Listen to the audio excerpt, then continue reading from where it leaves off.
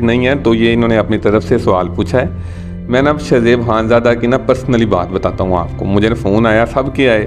लेकिन वाहिद, ये शहजेब खानज़ादा अब ऐसा एंकर है। इसने क्या किया था कि जो मुझसे वकूआ हुआ है ना, सबने पूछा है। इन्होंने फ़ोन करके जनाब इब्तसाम क्या हाल है, ठीक है? बताया कि मैं ये ये बात कर रहा हूँ, वगैरह वगैरह। तो कह रहे हैं कि आपने एक इंटरव्यू दिया है कि आपने बताया एक लड़के को गोली लगी है टांग में, उसका क्या हाल चाल है? जबकि मैंने किसी को भी नहीं दिया। ये इस कदर झूठ। अल्लाह पाक ने अगर इज़्ज़त दे दी है ना? अगर